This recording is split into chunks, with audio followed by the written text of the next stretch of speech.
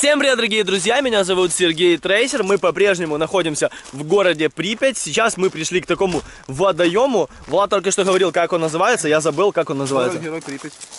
Водоем как называется. Семихольский старик. Мы пришли сюда, потому что когда я собирал свой рюкзак в зону, я туда положил спиннинг и катушку. По дороге сюда, пока ехали, я еще купил блесну. В общем, сейчас из любопытства просто пару раз закинем здесь спиннинг. Вдруг нам повезет, что-то мы поймаем. Итак, ребята, я уже достал спиннинг с рюкзака. Вот такой вот у меня спиннинг, вот такая катушка. Еще по дороге, когда мы сюда ехали, я в магазине купил такую вот блесну. Еще я купил несколько крючков, грузиков и один поплавок. А, в общем, на поплавочную рыбалку мы сегодня с вами не пойдем, потому как я не взял вообще на что ловить. Я думал, что будет у кого-то хотя бы какая-то булочка, кусочек хлеба, но ни у кого ничего не было, поэтому ну, будем пытаться закидываться только на хищную рыбу. Влад Резлов здесь уже, короче, э, делает забросы. У него со мной челлендж. Кто первый поймает рыбу, тот получит штуку баксов. Только проблема в том, что я в этом челлендже не участвую. Ничего, что ты ногой почти в этой уже радиационной воде. Так, ладно, ребята, давайте отойдем отсюда, чтобы не мешать Владу. Хотя не, я в этом месте сделаю один заброс. Сейчас э, напугаю тут всю рыбу и потом перейду где-то туда левее. Да ладно. Серьезно? Что было? Это неправда. Это, это не мутант был. Мутант цепанулся, змея. Тем временем Серега делает первый бросок. Так, сделали, ребята, первый заброс. Ждем, когда какая-то щука клюнет. Здесь, по идее, рыбы должно быть очень много, потому как ее, в принципе, здесь никто не вылавливает, только я и Влад. Поэтому надеемся, что клев должен быть. Кстати, ребята, вам, наверное, не видно в камере, но я видел, что где-то вот тут проплыла рыбка какая-то, визуальная такая-то красноперка. Ну, понятно, она не хищник, она, короче, не будет вестись на мою блесту. Кстати, я должен был бросать там, где Влад, а Влад здесь, где я стою. Но я, короче, решил пару раз с места Влада бросить, и он пошел на мое место.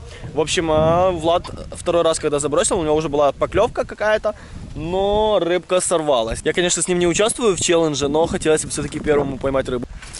На блесну что-то не клевало, мы решили все-таки привязать сюда к удочке поплавок. Вот, короче, такой у нас поплавок есть. Мы долго думали, на что ловить, и оказалось в хате той, где мы сегодня спали, была буханка хлеба. Она, правда, немножко залежалась там, но какая, конечно, уже есть буханка хлеба. Я думаю, здесь сбоку можно немножечко хлебушка оторвать. И, надеюсь, рыбка будет его кушать, и мы хотя бы чисто для галочки одну рыбку сегодня поймаем. Я очень аккуратно извлек из этой буханки вот такой вот кусочек хлеба, чтобы не трогать плесень, потому что Владимир Волк говорит, что она может через поры попасть Ну да. в пальцы. В общем, сейчас попытаюсь что-то с этим хлебушком сделать. И будем закидывать удочку. Ты даже рыбу никогда не ловил. На велике не ездил. Не, рыбу никогда не ловил. Ну, один раз с отцом только и В все. Майнкрафт играл. В Майнкрафте, Ну это хоть что-то ты делал в жизни. в Майнкрафте, да. В Майнкрафте башился. Я, конечно, тоже Может, рыбу типа не особо рыбак, но блядь, в детстве жизнь потрепала, всякого. Не, это Пришлось. Один, один раз я ездил, все. С отцом на рыбалку. Ну все, вон наш поплавок. Видимо, слишком большую глубину я сделал. Давайте еще раз перезакинем. Попробуй чуть дальше. Или грузика мало просто. Да грузика мало просто. Ну, можно, в принципе, и на лежачий поплавок ловить. Все, рыба уже клюет. Видели? А что это было? Да, она клевала и подняла поплавок. Блин, я уже думал. Кстати, очень быстро на хлебушек. Влад Резнов поспорил со мной на тысячу долларов. Кто первый вытянет рыбу, тот получит тысячу долларов. Правда, я с ним не спорил, но все равно выиграть хочу. Заберу у Влада монетизацию за 6 лет. Все, ребят, смотрите. Да, А, сорвало! Тихо, тихо, тихо. Ребят, не знаю, успел ли я запечатлеть этот момент. Я тебе говорю, на поплавок в пять раз пись. Пись же ловит сам. Так, последний заброс. Петарда была, пранк с петардой. Зачем? Мы только что рыбу почти поймали. Ловили, ловили мы рыбу, попросил Артем забросить. Сла- Сразу у тебя хлеб слетел. Да? Вынимай, да. Это я настолько профессионал? Я думал, ты сейчас просто вытянешь и за подлодку сделаешь, выиграешь тысячу долларов. Есть хлеб еще? Надо сказать, ловись рыбка большая и маленькая. Ага. Вот, кстати, у меня там и клюнула та, которая сорвалась. Опусти леску на воду. Вов, тяни, тяни, тяни, тяни, тяни. Ну, ну, ну! Вот это мы рыбаки, ребята. Молодец, чувак. Давай, бум. Офигеть, смотрите, чернобыльская рыба. Давай дозиметр бегом. Тупо мы с тобой мотылька. Дозиметр давай. Дозиметр по-любому фонит, она же в воде это живет. магазине. Короче, ребят, реально очень смешно такую рыбу ловить, а, но мы специально ее... Вообще, вообще для чего мы ловили рыбу? Мы же ее кушать не будем, потому что это Чернобыль.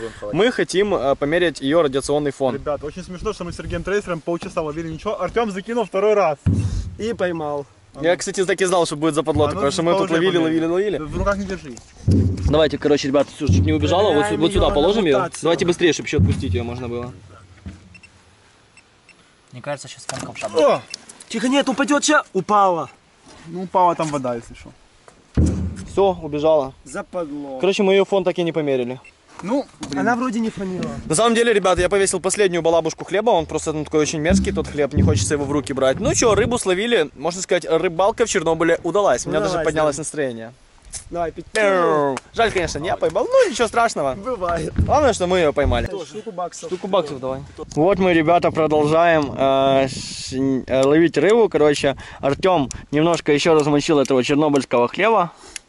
И сейчас будем ловить рыбу.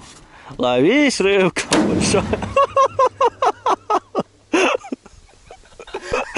Меня аж глушило на.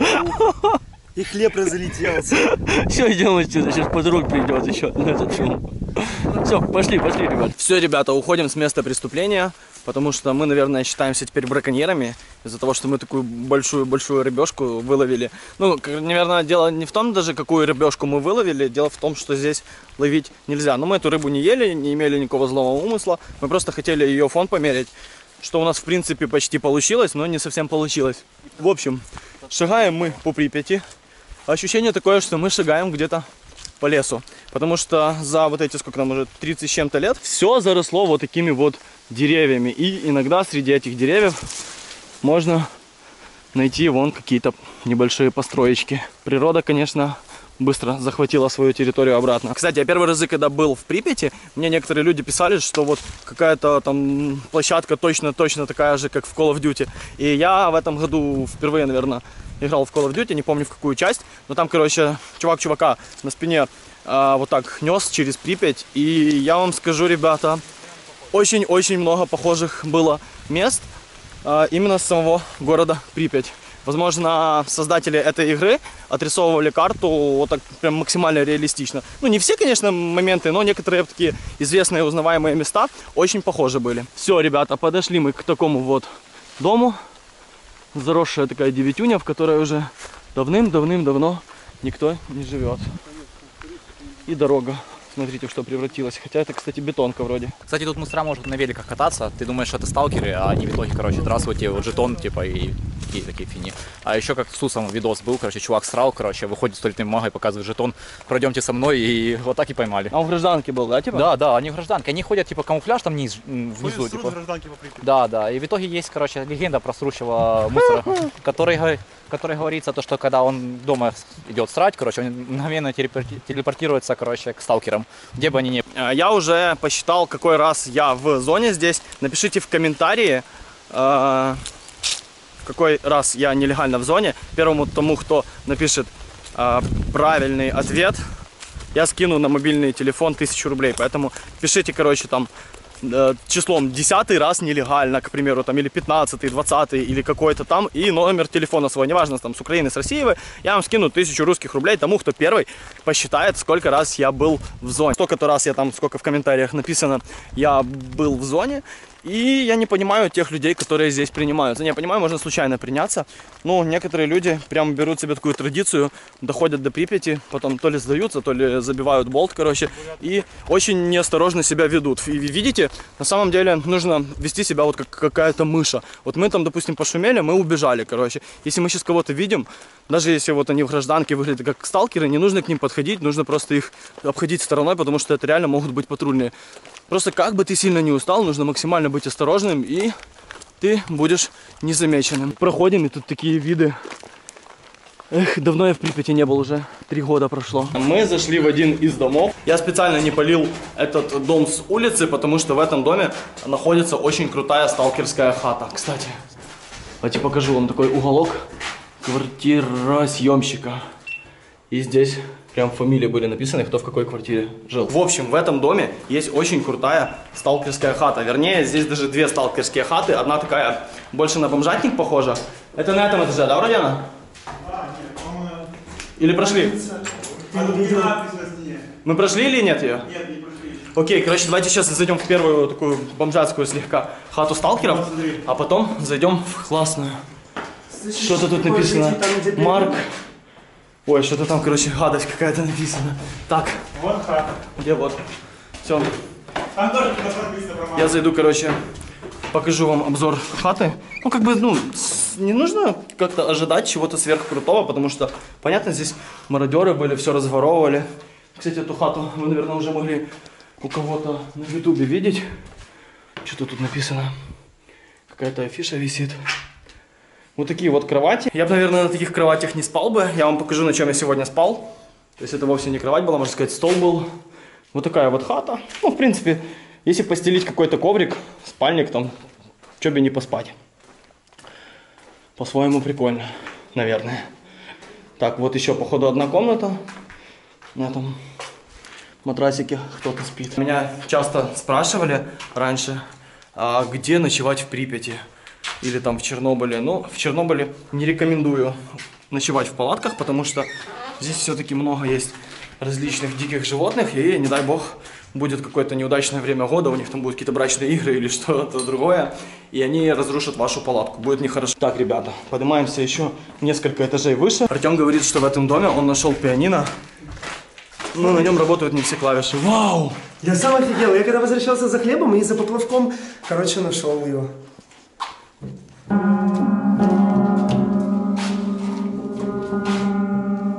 Тем временем я проверил температуру, и да, у меня 37,2. Температура у тебя заболел? Ну, я вообще... со- М, Я выключил. 37,2. Да, 37,2. Тихо. Ну, в принципе, чувствую себя довольно хорошо. В середине. Тихо. будет.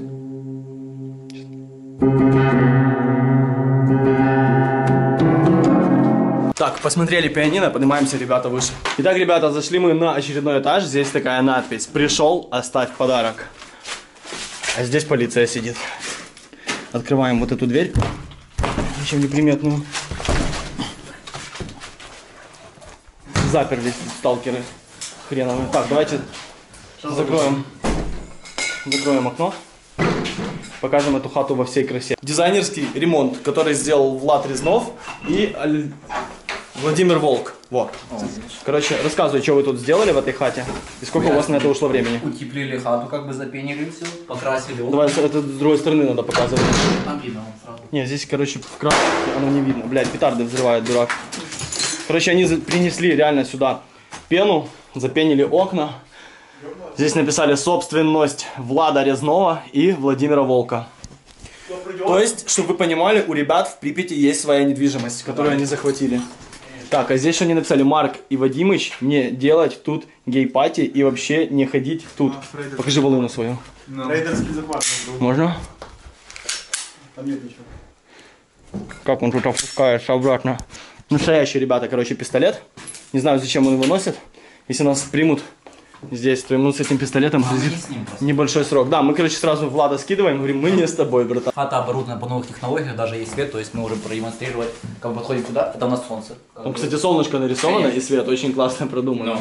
Так, двери все вот это выкрасили, да? Да. Мне интересно, кому в голову пришла вот эта маниакальная такая штука, короче, разбрызгать как будто следы крови. Короче, была история, то, что мы хотели сделать втроем ту хату. Ну, один долбоеб, короче, который долбится в жопу, ну, там, неважно. Марк Киреев, если что. Там номер телефона в другой хате. Короче, он взял, он взял банку краски и начал так хуярить. Я говорю, нахуя ты это делаешь? Он такой, блядь, типа, это моя фантазия. И Просто складывается ощущение, что здесь какой-то психопат был, вот так взял, короче, нож, вот так, открыл его, и вот такой.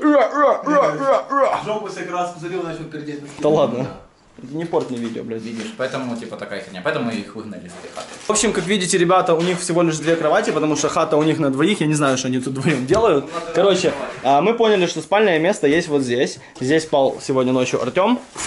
Кстати, это вы заклеили для того, чтобы когда вы включите свет, вас с улицы не видно было. Да, только никто не все равно в любом случае надо так Но на всякий случай, да. Я же, короче, ребята, сдвинул два стола, положил сюда рюкзак, вот где там, вон там лежит мой рюкзак, и вот здесь на столе спал, потому что на полу спать мне не хотелось, здесь пыль. Средний радиационный фон где-то там 50 этих микрозивертов, или как они правильно называются, а в Припяти, что, в принципе, примерно в два раза превышает норму. И, ну, я не хотел бы как-то спать вот этом. 15?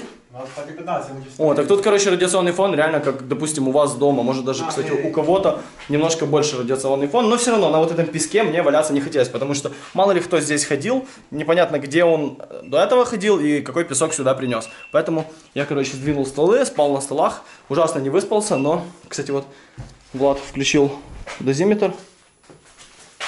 Как видите, очень-очень даже чисто. Ну что, ребята, а сейчас мы немножечко еще отдохнем и поедем в одно очень классное, интересное место. Но это место вы уже увидите в следующем ролике, который тоже будет про Чернобыль, про Припять и, короче, подписывайтесь на канал, чтобы не пропустить новые видео. И, ребята, походу мои подписчики сломали колокольчик Ютуба. Короче, тех, кто нажимал колокольчик, я попрошу вас отжать его обратно, а потом еще раз нажать. А тех, кто не нажимал, нажмите для того, чтобы следующий ролик посмотреть одному из первых. И, возможно, если вы посчитаете, сколько раз я нелегально был в э, зоне отчуждения, то вы получите 1000 рублей на свой телефон. Согласен, сумма небольшая, мелочь, но все равно приятно. Короче, ну и вообще просто, чтобы смотреть классные ролики, подписывайтесь. Потому что по статистике 57% моих просмотров идут от зрителей, которые не подписаны. Не понимаю, в чем проблема. Подписались и смотрите, было бы прикольно. А у нас, кстати, вот такой вот вид с окна. Лепота, как говорится.